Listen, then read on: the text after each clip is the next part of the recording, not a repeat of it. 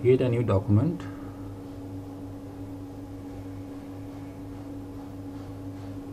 Center your artboard. Make sure you have no fill and only stroke selected.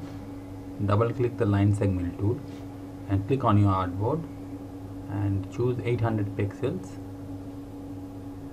This size depends on what the size of the triangle you want. Make it 0 degrees and place it in the lower third of the artboard press R for rotate and click the right anchor point with alt, alt pressed on your keyboard and type in minus 60 degrees and hit copy.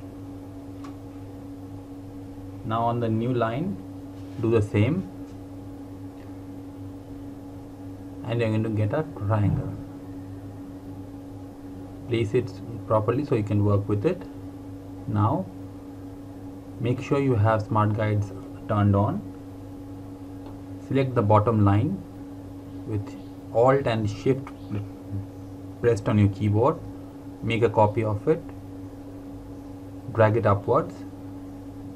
Do the same with the other two sides. Try to keep it as symmetrical as possible. Smart guides will help you a lot in if in this way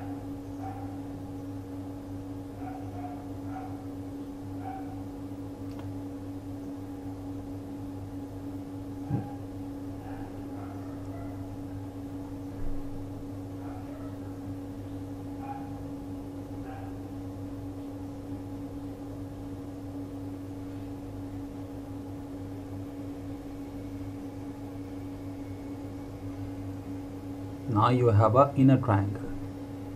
Do the same again by pressing shift and alt on your keyboard and making another line. See smart guides guides you that you are almost equidistant from the baseline.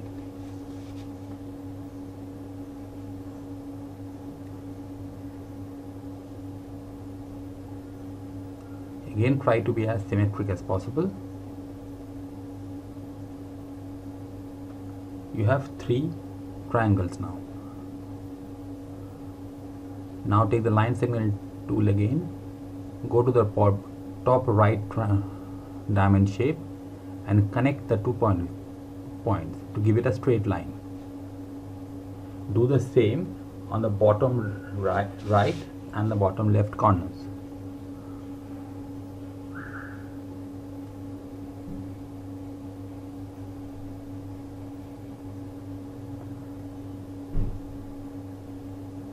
select everything.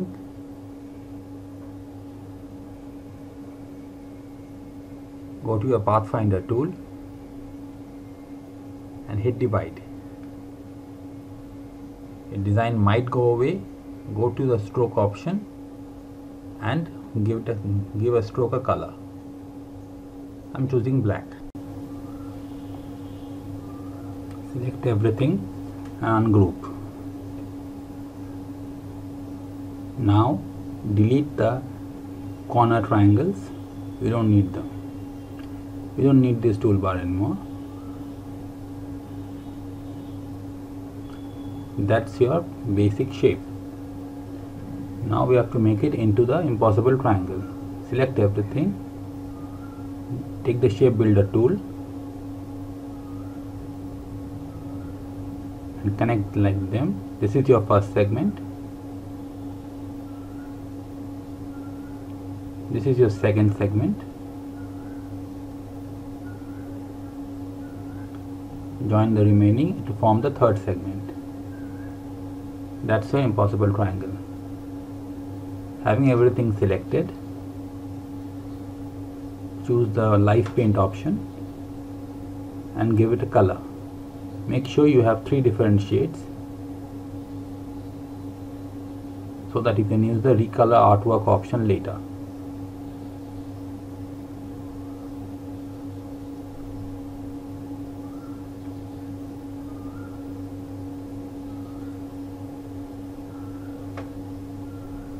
if you want you can remove the stroke now. That's your object now.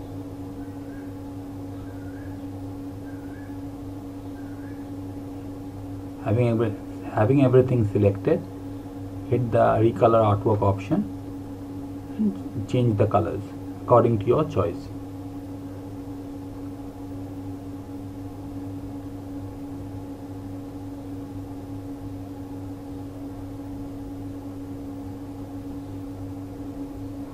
make sure you have the arrow selected or the color won't change.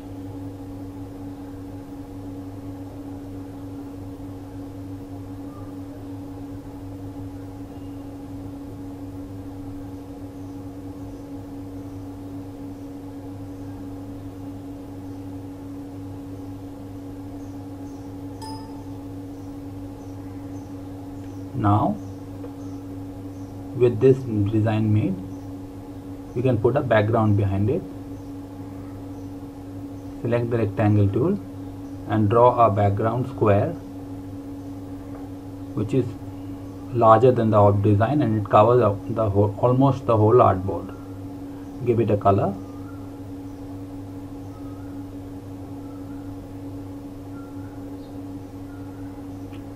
Right click on the rectangle go to arrange and send it to back.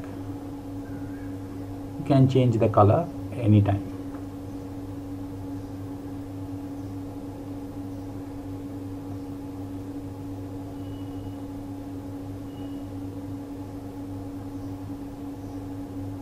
That's your design